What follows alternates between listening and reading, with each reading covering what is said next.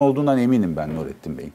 İyi bir insan olabilir. Ama biz iyi insan Saf ama arıyoruz. ama ama yani ce, cehennemin yolları da iyi niyetle döşenmiştir neticede. Biz iyi iyi insan aramıyoruz. Dolayısıyla ya bak benim ne kadar çok sorumluluğum var. Ben hata yapabilir miyim? Yaparsın tabii. Yani kaybedecek şeyin çok diye hatadan e, vareste değilsin hata yapmaktan. Yani bütün iktidarlar hata yaptıkları için gidiyorlar. Ülkelerin e, yüklerini sırtlarında taşıyorlar. Dolayısıyla bu Nurettin Nebati konusu. bir ekleme yapabilir miyim? Tabii lütfen. Aynı konuşmadan tabi İslamcı yönünü de e, yani bildirmeden etmiyor. Aslında yumuşatmış biraz. Canım senin dinin sana, benim sinim, dinim bana. Hani lekin diniki veliyedin hani e, o o şeyi hatırlatıyor. Ben Müslümanım, sen olsun. bu- Ben karışmam bunlara. Bu, Sonra ya bu bilgin nereden geliyor Efendim senin? abi? Bu bilgin nereden geliyor? Ne? Şimdi bak e, Ar- Arapça Kur'an'dan mı bir şeyler söyledin? yani işte te- temel ilmihal bilgisi Kur'an kursunda. ilmihal bilgisi Kur'an kursunda, Şimdi tamam.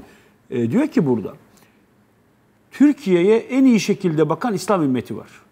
Onlara ya da Güney Amerika'dan gelen, niye Güney Amerika'ya gitmiş onu anlamadım. Yani bir İslam ümmeti var tamam da bir de Güney Amerika var. Herhalde Venezuela'yı kastediyor.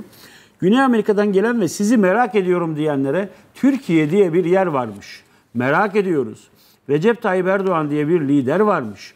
Görmeye geldik diyenlere hayal kırıklığı yaratacak bir duruma gelmek istemem ve bu yüzden Allah'a sığınırım. Sayın Debat, yani eğer bir şey yüzünden Allah'a sığınacaksanız Iraklı, Suriyeli, Yemenli, Birleşik Arap Emirlikli, e, Müslüman ya da Güney Amerika'daki Brezilyalı, Venezuelalı e, vatandaş karşısında mahcup olacağınız için Allah'a sığınmayın.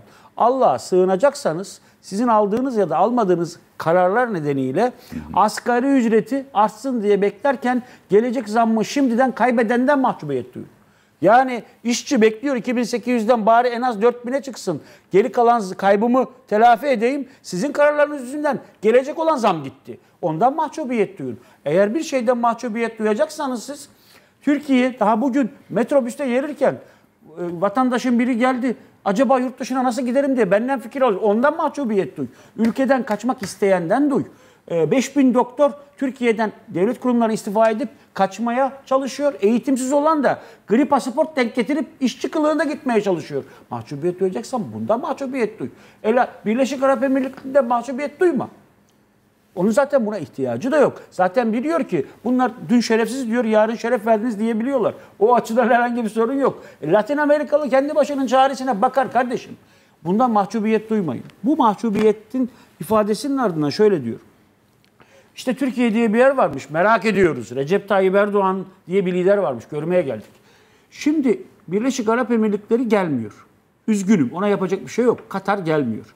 E, fakat aynı şekilde Venezuelalı da gelmiyor. Ama Nurettin Nebati'yi sevindirecek olan husus İslam ümmetinden bazıları geliyor. Birincisi e, TÜİK bugün rakam açıkladı. Türkiye'de en çok konut alan yabancılar listesi ilan edildi. En çok İranlılar geliyormuş. Yani Nurettin Nebati her ne kadar onları kastediyor bilmiyorum ama en çok İranlılar geliyormuş. Recep Tayyip Erdoğan ülkesi ucuzluk ülkesi diye geliyorlar. Hatta en düşük vatan, vatandaşlığını en düşük paraya satan Recep Tayyip Erdoğan ülkesi gelelim İran'da karışıklık çıkarsa Türkiye vatandaşlığına sığınırız bir ev parasına vatandaşlık veriyorlar diyorlarmış. İkincisi Iraklılar. Iraklılar Recep Tayyip Erdoğan ülkesi vatandaşın en ucuz satıldığı yer. Ayağa düşmüş neredeyse. Hem, hem ev alalım hem vatandaşlık versinler diye geliyor. İslam ümmetinin bir kısmı geliyor. Nurettin Nebati sevinebilir. İslam ümmetinin 4 milyonluk Suriyeli parçası içimizde kaldı. Girmediğimiz savaştan kaybe, kay, savaşı kaybedik. Kaybedip e, Suriyelilerin Suriye'den sonra en çok yaşadığı ülke haline geldik. Nurettin Nebati sevinebilir. Özellikle İslam ümmetinin Afganistan ve Pakistan'da yaşayanları Recep Tayyip Erdoğan ülkesine gitmek çok kolay. Ee, 200 dolar verip sınırı geçiriyorlar bize. Geçelim sınır mınır yok hak getire. Van'a iner oradan Diyarbakır'a gider belki bir umut İstanbul'a varırız diye e, akın akın yollara çıkmış. Sevinin Nurettin Nebati.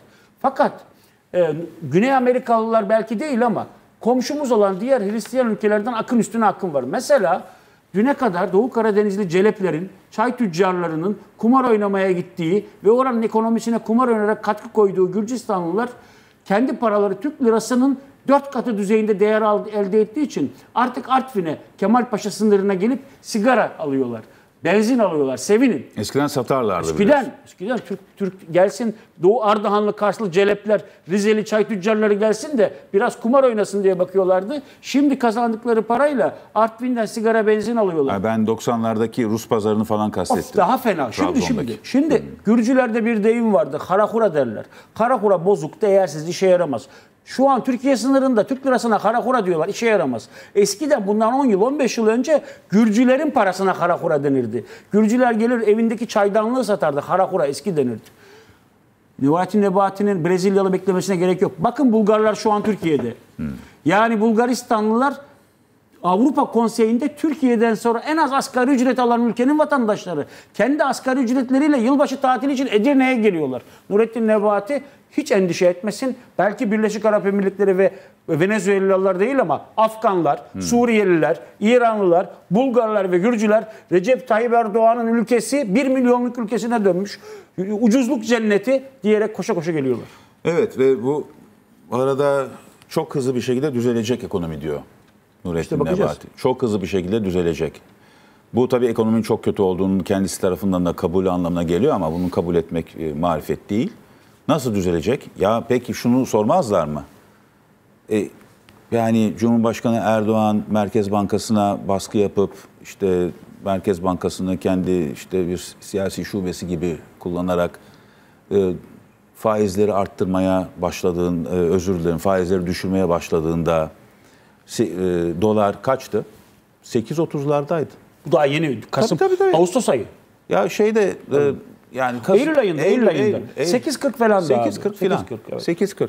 5 lira koydu üzerine. Ya 6 evet. lira. E ne gerek vardı?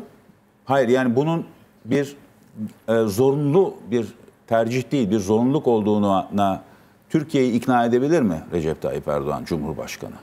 Yani bu faizlerin düşürülmesinin bir zorunluluk olduğuna hayır ikna edemez. Kendi bu tam anlamıyla kendisini ayağından vurmaktır. Yaptığı da bu oldu. Şimdi çok hızlı bir şekilde düzelecek ekonomi. E, ekonominin bu hale gelmesine neden olan e, işte bağlılık beyan ettiği Cumhurbaşkanı Recep Tayyip Erdoğan verdiği, istediği, saplantı halinde istediği, e, adeta bunu bir nas, bir mutlak bir e, dogma olarak e, benimsediği faizleri düşük düşüreceğiz. Bu faizler çok yüksek, faizleri düşüreceğiz. Bunu niye yapıyor peki? E, Türkiye ekonomisini düze çıkarmak için, hayır geçici bir efekt yaratmak için. Bir rahatlama duygusu. Para, para musluklarını açıyor, sıkı para politikasından vazgeçiyor. Bunun sonucunda da enflasyon alıyor başını gidiyor. Ve de çünkü çünkü para e, faizden, mevduattan dolara, e, yabancı altına ve dolara kaçıyor. Bunun önlemenin tek yolu evet belki faizleri tekrar yükseltmek ve eninde sonunda da böyle yapacaklar ama bunu Nurettin Nebati ile yapmayacaklar belki çünkü o kurban verilecek bir başkasını bulacaklar. Peki çok hızlı bir şekilde düzelmesi için ekonominin en başta Türkiye'de e, Türkiye'nin e, yatırıma uygun bir ülke olarak dışarıdan görülmesi lazım. Öngörülebilir olması lazım. Ekonomi yönetiminin kurumsallaşması, Merkez Bankası'nın bağımsız olarak çalışmaya başlaması lazım. Bütün bunlar lazım. Demokrasi gerekiyor. Ama en önce de Nurettin Nebati'nin çok doğru tespit ettiği, beş kere söylediği gibi Güven.